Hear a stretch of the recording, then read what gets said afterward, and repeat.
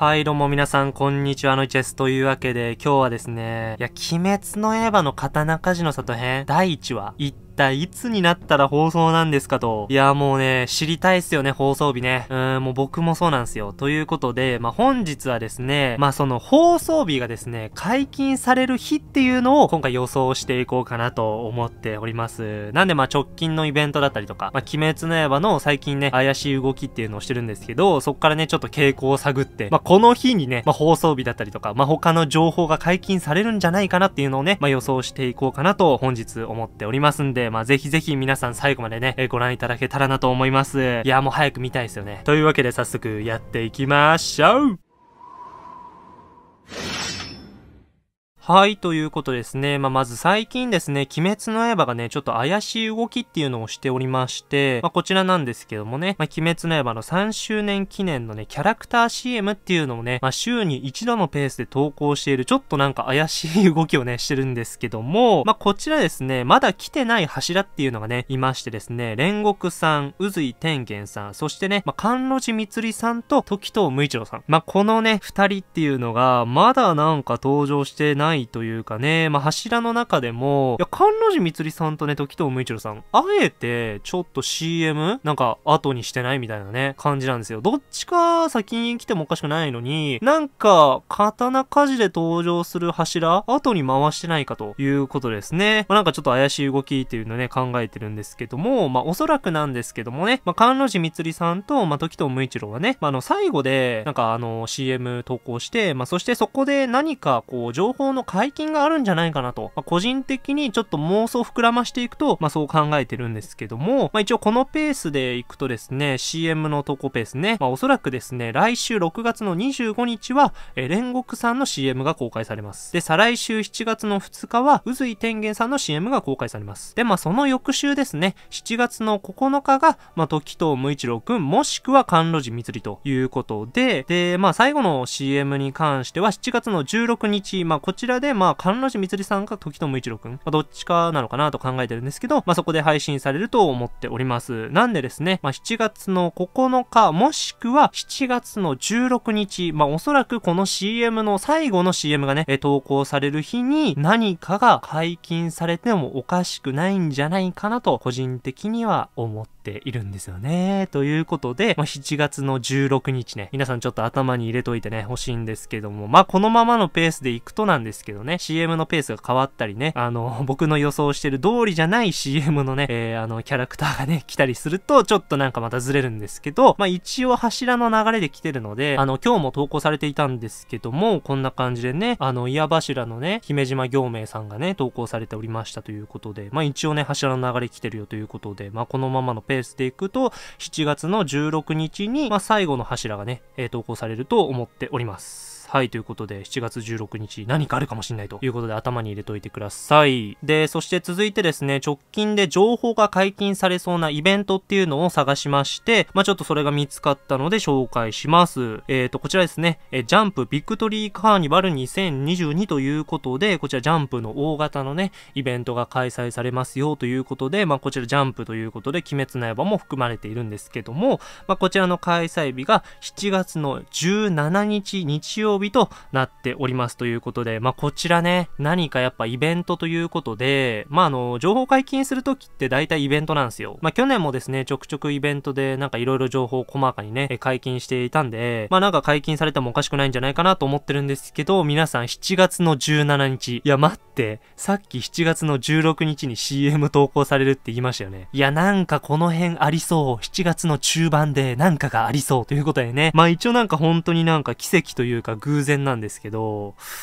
怪しいですね。うん。で、まあ、こちらね、まあ、おそらく情報を何かしら解禁されることは間違いないんじゃないかなと思っておりまして、まあ、その理由としましてはこちらですね。まあ、なんかテレビ特番っていうのがね、まあ、放送される予定になってるみたいですね。いやー、嬉しい。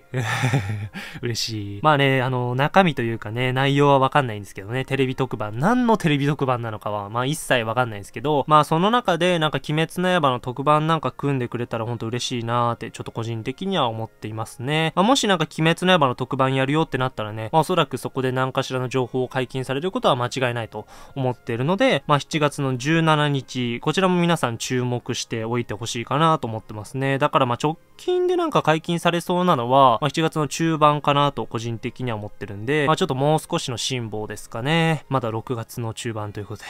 はぁ なんで、きつい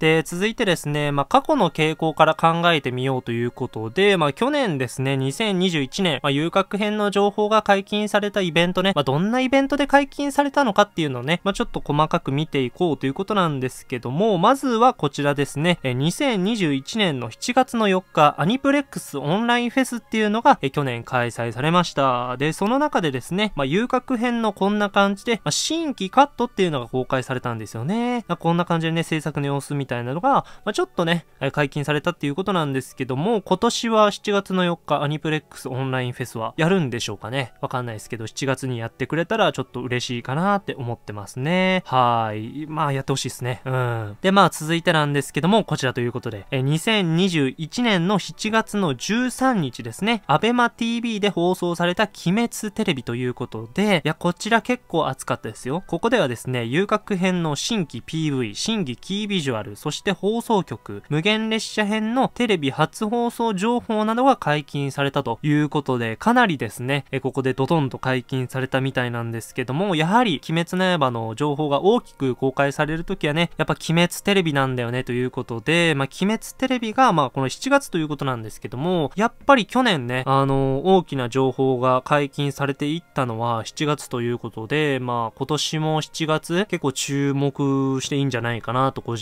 的には思っておりますね。はい。いや、近いですね。さっきのイベントとね、7月17だからね、13近いですね。今年もなんかありそうですね。うーん、ということでね、まあ、ここまで解禁されなくともね、まあ、なんかちょっとでいいからね、解禁されてほしいよねっていう感じですね。うん。で、まあ、続いてなんですけども、こちらということで、まあ、2021年のですね、まあ、9月の25日ですね、まあ、無限列車編のテレビ放送後、え、ここではですね、新規オリジナルアニメの発表、これですね。いや、懐かしいですね。いや、懐かしすぎる。そして、まあ、遊楽編の新規 PV とともに、まあ、ダキの声優、そして放送日などが解禁されたということで、まあ、ちなみに放送日は12月の5日であったということで、まあ、9月の25日に発表されて12月の5日ということで、まあ、だいたい2ヶ月ちょっとか、えー、のスパン、まあ2ヶ月前ぐらいにね、まあ、発表されたということなんですけども、今年もだからまあ放送するとしたら2ヶ月前ぐらいなのかということなんですよね。まあわかんないですけどね、まあいつ、うん、それがあるかっていうのはわかんないんですけど、まあこの、あれですよね、やっぱり9月の25日、無限列車編のこのテレビがね、初放送されたっていうね、でかいタイミングだったので、まあ今年も遊郭編の再放送がね、あって、そこで刀鍛冶の里編のあの最終情報みたいなのをね、えー、公開するんじゃないかなとね。まあ去年の傾向からするとそう思ってるんですけど、まあどうなんでしょうかね。いやー、ちょっと去年興奮しましたね。懐かしいね。生放送しましたよね。いや、同列が結構いた気がしたんですけど、ダキの声優も当たったしね。放送、まあ脳汁がすごかったね、あの日ね。この生放送でやってるんですけど、いや、あの日ほんと脳汁がすごかったなマジで。懐かしいわ。あー、無限列車編の同時視聴もやったしね。すごい面白かったっていうか楽しかった。ちょっと思い出がね、僕あるんですけど、またやりりたいな。遊郭編のなんか同時視聴、うん、再放送あったらやりたいですね。うん。まあ、こんな感じで、まあ、一応最後にね、え、まとめやっていきたいなと思いますけども、まあ、直近で何か、刀鍛冶の里編第1話のなんか情報が解禁されるとしたらありそうな日っていうのは、え、こちらですね。7月の17日、今年は7月の17日が暑いよとなっております。2022年のね、7月の17日、皆さん、まあ、もしかしたら生放送ね、やるかもしれませんが、え、ジャンプビクトリーカーニバルということで、こちら楽しみにね、えー、しておきたいなと思います。まあ、それまではね、ちょっと、まあ、柱稽古編だったりとか、なんかその、いろいろ動画作っていきたいなと思いますけども、もうとにかくね、刀鍛冶の里編見どころ全部やってきたけど、いや、アニメがね、めちゃめちゃ楽しみなんだよね。うん、で、観音寺さん僕ほんと大好きだから、早くね、PV でいいから見たいなっていうのもありますし、玉子とか、なんか上限の鬼のね、なんかキャラクターデザインじゃないけど、うーん、なんかこう、アニメで動いてる姿ってっていうのをね、もうほんといち早く見たいたりとか、言葉になりませんけど もう本当に楽しみなので、皆さんも一緒にね、えー、盛り上がってくれたら嬉しいなと思っております。本当に皆さん毎週ね、僕動画投稿しますけど、見ていただきありがとうございます。ということで、7月の17日、楽しみにしておきましょう。いやーまあもしかすると7月の4日あたりにアニプレックスのオンラインフェスなんかもやってくれたらなって思いますけども、まだイベント情報がないので、まあ、そこに関しては今年やるかわかんないよということで、まあもう決定してるイベントはね、月17なんで、まあそこを楽しみにしておきましょう。はい、ということで、皆さん高評価、チャンネル登録、そしてコメント、皆さんぜひお待ちしてるんで書いてください。ということで、また次回の動画でお会いしましょううっばーいやあのさ、最後ちょっと関係ない話なんだけどさ、かぐや様小倉スタイ見てます？いや、昨日ね、アニプレックスのね、公式チャンネルで、なんか最終回 PV っていうのを公開されたんですけど、いや、かぐや様ね、なかなか気合入ってるね。うん、なんか、いいね。ああいう感じでね、なんか、アニメがね、やっぱ気合入ってるっていうのはすごく嬉しいし、なんか、鬼滅もね、なんかまた気合をね、入れて、ちょっとやってくれたらなーって思います。ってことで、えー、楽しみですね。はい。早く、早く見せてくれ。